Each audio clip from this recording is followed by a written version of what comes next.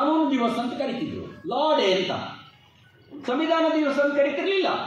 November ಇಪ್ಪತ್ತಾರನೇ ತಾರೀಕು. ನಮಗೆ ಜನವರಿ ಇಪ್ಪತ್ತಾರು ಗೊತ್ತಿತ್ತು ರಿಪಬ್ಲಿಕ್ ಡೇ ಸಂವಿಧಾನ ಕೊಟ್ಟ ದಿನದ ಆಚರಣೆ ಇತ್ತ ನಮ್ಮ ದೇಶದಲ್ಲಿ. ಮೋದಿಯವರು ಬಂದ ಮೇಲೆ ತಾನೇ ಅದು ಆಚರಣೆ ಪ್ರಾರಂಭ ಆಗಿದ್ದು. ಆದರೆ ವಿರುದ್ಧ, ನಮ್ಮ ವಿರುದ್ಧ ಏನು? ಸಂವಿಧಾನ ವಿರೋಧಿಗಳು. ಅವರು ಹಣೆ ಹಚ್ಚಿದ್ದು ಮೊದಲು ಪಾರ್ಲಿಮೆಂಟ್ನ ಮೆಟ್ಲಿಗೆ ಆಮೇಲೆ ಒಳಗಡೆ ಹೋಗಿ ಸಂವಿಧಾನದ ಪ್ರತಿಗೆ ಹಣೆ ಹಚ್ಚಿ ನಮಸ್ಕಾರ ಮಾಡಿತು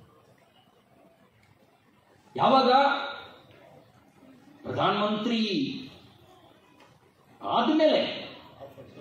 ಆದ ತಕ್ಷಣ ಬಂದ ತಕ್ಷಣವೇ ಅಂದರೆ ನೀವು ಆಲೋಚನೆ ಮಾಡಿ, ಇನ್ನು ಅಂಬೇಡ್ಕರ್ ವಿರೋಧಿ. ಯಾರು ಹೇಳೋದು ಅಂಬೇಡ್ಕರ್ ವಿರೋಧಿ ಅಂತೇಳಿ? ಯಾರು ಅಂಬೇಡ್ಕರ್ ಅವರನ್ನ ಐವತ್ತೆರಡು, ಐವತ್ನಾಲ್ಕರಲ್ಲಿ ಚುನಾವಣೆಯಲ್ಲಿ ಗೆಲ್ಲದಂತೆ ನೋಡಿಕೊಂಡ್ರೋ, ಆ ಜನ ಅಂಬೇಡ್ಕರ್ ವಿರೋಧಿ ಅಂತ ಹೇಳೋದು.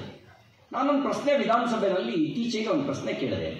ನೋಡಿ ಸ್ವತಂತ್ರ ಪೂರ್ವದಲ್ಲಿ ಅಂಬೇಡ್ಕರ್ ಅವರ ವಿದ್ವತ್ತಿನ ಅರಿವಿಲ್ಲದೆ ಕೆಲವರು ಅವ್ರನ್ನ ವಿರೋಧಿಸಿರ್ಬೋದು. ಸ್ವತಂತ್ರ ನಂತರ ಇಂಥ ಒಳ್ಳೆಯ ಸಂವಿಧಾನ ಕೊಟ್ಟ ಮೇಲೂ ಕೂಡ ಆ ಪುಣ್ಯಾತ್ಮ ಅವಿರೋಧವಾಗಿ ಆಯ್ಕೆಯಾಗಿ ಲೋಕಸಭೆಗೆ ಬರ, ಬರುವಂತೆ ನೋಡ್ಕೊಳ್ಬೇಕಾದಂಥ ಜವಾಬ್ದಾರಿ ನಿಮ್ಮ ಪಾರ್ಟಿಯವರಿಗೆ ಇತ್ತಲ್ಲ ಯಾಕೆ ಮಾಡಲಿಲ್ಲ? ಯಾಕೆ ಸೋಲ್ಸಿದ್ರಿ ಅಂತ ಕೇಳಿದೆ.